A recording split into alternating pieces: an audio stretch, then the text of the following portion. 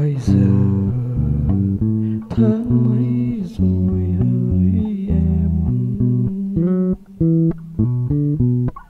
Lên đến ngàn mây trôi em đêm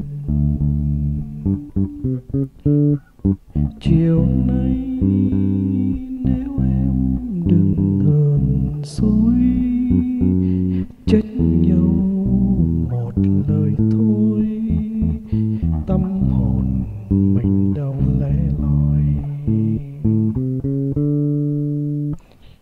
bây giờ tháng mấy rồi hỡi em.